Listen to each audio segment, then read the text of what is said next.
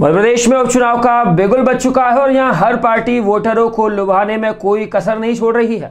इसी कड़ी में दतिया ज़िले के भांडेर में कार्यकर्ता सम्मेलन को संबोधित करने पहुँचे बीजेपी सांसद ज्योतिरादित्य सिंधिया को शनिवार को अजीब हालात का सामना करना पड़ा, जब उनके भाषण के बीच में ही एक अतिथि शिक्षक ने टोक दिया।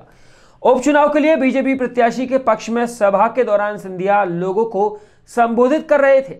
इसी दौरान उन्होंने कहा कि मैं आपकी ढाल और तलवार दोनों बनूँगा तभी सामने से आवाज़ आई कि आपने अतिथि शिक्षकों के बारे में कुछ नहीं बोला।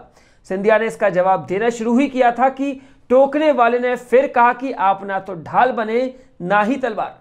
हालाँकि इसके बाद भी सिंधिया ने भाषण देना नहीं रोका। उन्होंने कार्यकर्ताओं से कहा कि मैं चेहरा, नाम और दिल हर तरह से आपका हूँ और हर परिस्थिति में आपके साथ खड़ा रहूँगा। कि मैं आपका ढाल भी बनूँगा और आपका तलवार भी बनूँगा। सर अति शिक्षकों के लिए आपने नहीं बोला कुछ।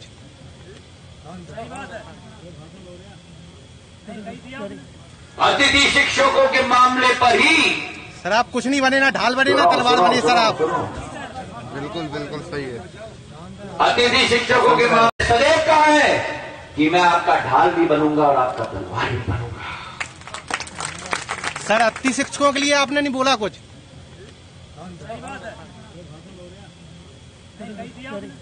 अतिथि शिक्षकों के मामले पर ही सर आप कुछ नहीं बने ना ढाल बने ना तलवार बने सर आप। बिल्कुल बिल्कुल सही है।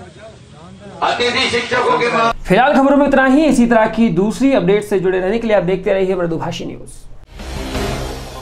ताज़ा खबरों के लिए हमारे चैनल को सब्सक्राइब कीजिए लाइक कीजिए और शेयर कीजिए।